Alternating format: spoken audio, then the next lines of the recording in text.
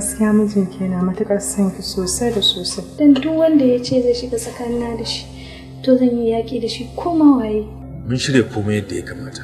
har yanzu na kasa yadda cewa akwai hannun Bilal a cikin wannan harin da aka kawo. Eh, saboda ni ma gaskiya niyana kenan. Amma tun da wayannan abubuwan suke faruwa, gabaki ɗaya garin ya fitan min are. Na san kuɗi shegu ne zara.